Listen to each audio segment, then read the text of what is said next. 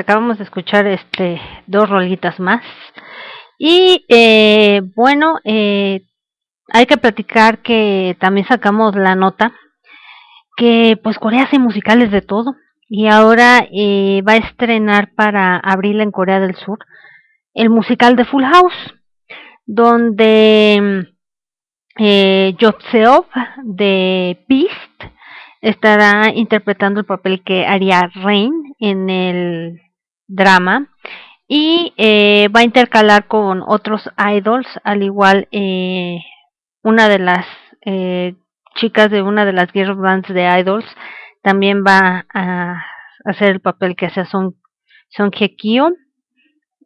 va a estrenar pues ya creo que a mediados de abril. Eh, ahí van a encontrar el póster en Ichi Yonokana eh, Oriente Magazine. También hay que platicar que pues los fans andan muy a la espera de el trabajo de Jung de este drama coreano llamado Triangle, que han estado eh, haciendo pues fanmates de lo que vendría siendo el drama, todavía no hay un póster oficial. Mientras tanto, Junsu eh, está pues en Japón y esto es para hacer otro, si mal no voy, ¿cómo se llama esto? Como le pusieron, eh, The Best Ballad Spring Tour Concert in Japan. O sea, va a seguir haciendo conciertos por allá. Creo que ya nos echó al olvido a los mexicanos. O quién sabe. Como yo les dije, está la expectativa y se maneja que pudiera ser que dieran eh, JYJ un concierto en México. Parece que Izar está pues hablándoles al oído a ver qué contesta Yes.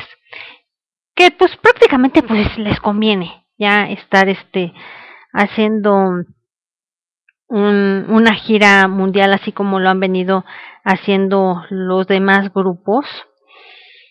Y por cierto, hablando de Natalia, parece que los eh, fans están pero sobres con ella porque al darse la noticia o a conocerse la noticia de que ya se habían acabado los boletos del concierto de la zona VIP y el box.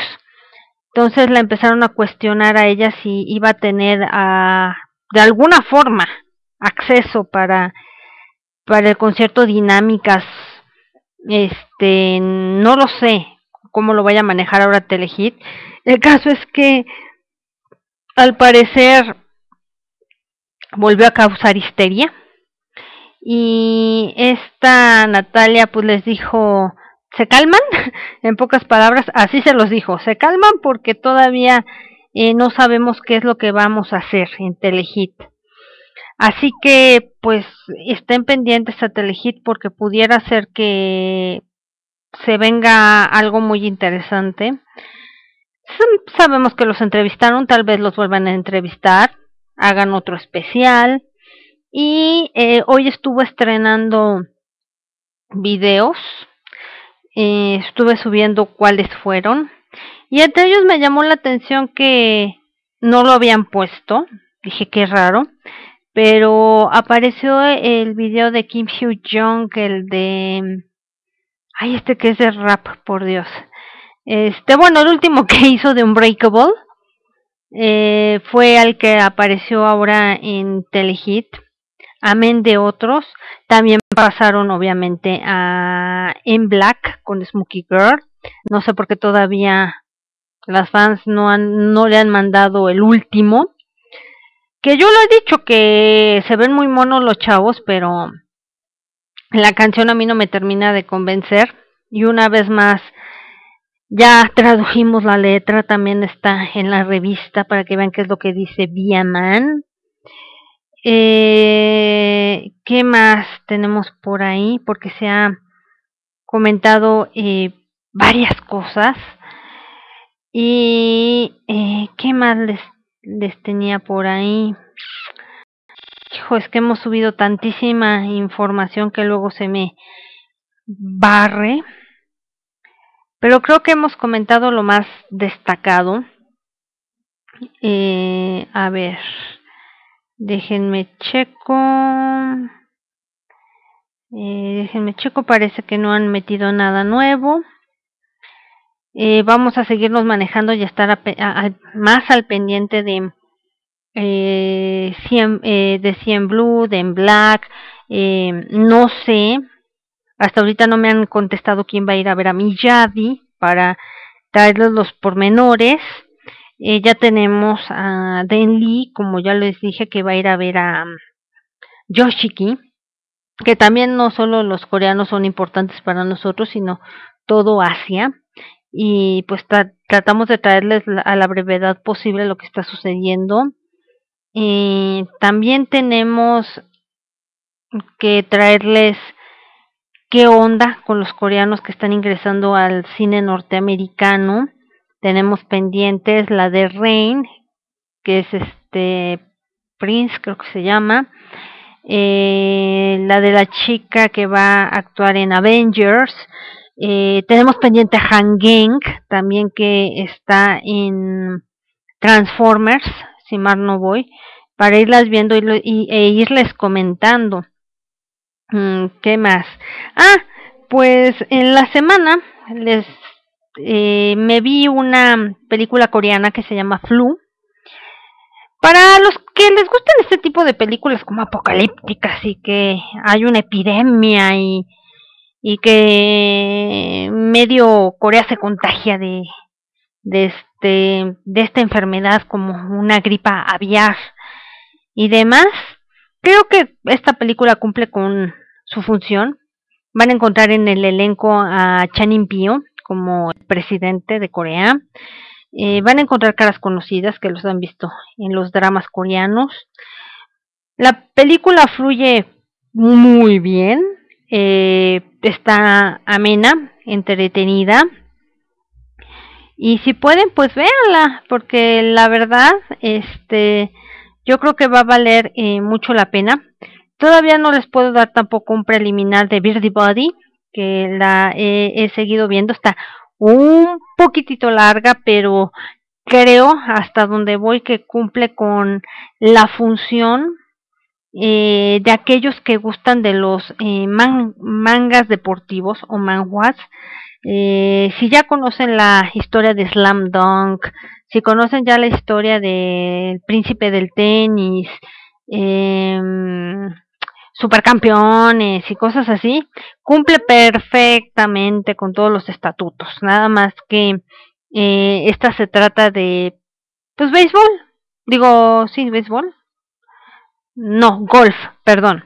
Eh, es de golf de lo que trata. Entonces, eh, creo que mucho les va a llamar la atención a los que les gusta este tipo de temáticas deportivas. Eh, de mi parte, pues yo sí la siento un poquito, poquito, este, eh, larga. A lo mejor le metieron eh, cosas que hacen que la historia no sea nada ágil, pero siento que a los que son fans de este tipo de temáticas les va a encantar. ¿Qué otra cosa les tenemos?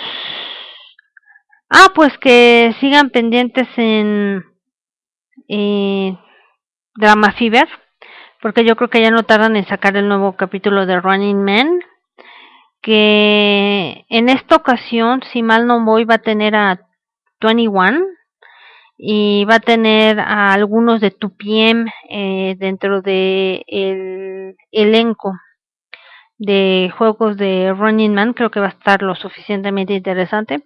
Ese programa de por sí ya se ha vuelto como base de entretenimiento.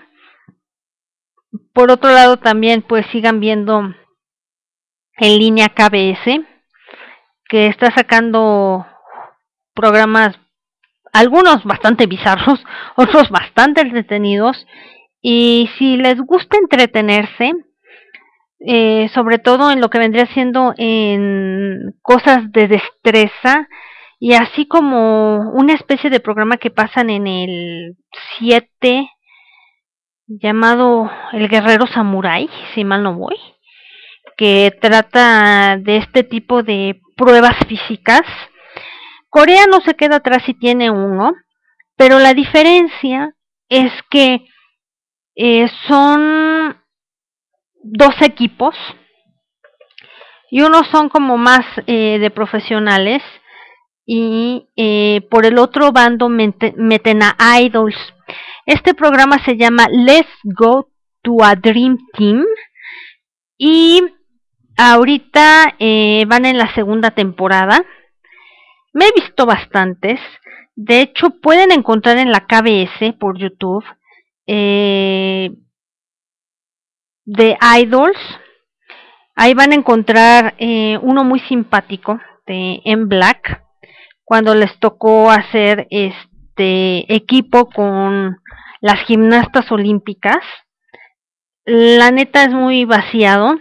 Y pues bueno, les puedo decir que a lo mejor lo pueden encontrar también subtitulado en español por partes. Ya cuestión de cada quien. Yo eh, me voy a hacer eh, cargo de traducirlo y ya eh, subirlo en BraveNet en un solo corte y también va a subir al foro de Rusia.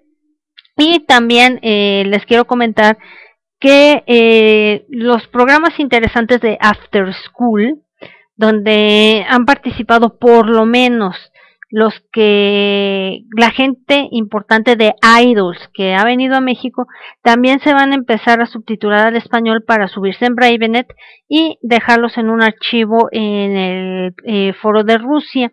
Pero vamos a ir eh, poco a poquito para que vayan ahora sí que estando pendientes de cuando lo saquemos en Ichiyonokana eh, Oriente eh, Magazine. Y que por cierto se van a colocar en la página de Bravenet pero ¿por qué los vamos a dejar también en el foro para que tengan un orden y así sepan por dónde buscar? Los especiales que también vayan saliendo en Telehit de grupos importantes idols de Corea del Sur eh, se van a transmitir eh, aquí en el canal de Ustream, obviamente una hora después de que pasen para cortar los anuncios. Y eh, se van a subir también a, al foro para que también tengan su respectivo orden y así eh, vayan viendo eh, diferentes cosas que tenemos que aportar y que compartir con ustedes. Creo que esto eh, ha sido todo por hoy. Creo que ahora sí me fue lo suficientemente rápido porque había muchísima información. vamos a ir entrando a la brevedad posible dependiendo de cómo se vayan dando estos movimientos de pop coreano y también de lo que esté por venir, porque pues si ya Corea nos está dando una señal de estar viniendo a México, tal vez los otros países de Asia volteen a ver a Corea y volteen a ver a México, y en una de esas eh, no vaya a ser que eh, venga también gente importante de Japón, eso esperamos, o que venga hasta gente importante de Taiwán para cómo están sucediendo las cosas. Vamos a estar pendientes y vamos a seguirles informando. Por mi parte es todo. Esta fue Prisa Sagari. Eh, creo que ahora el clima está medio cambiante, ya está por hacer mucho fresco. Si está fresco, tápese bien si va a salir a la calle. Nos vamos a estar escuchando en otra emisión. Y eh, les voy a dejar algo de musiquita.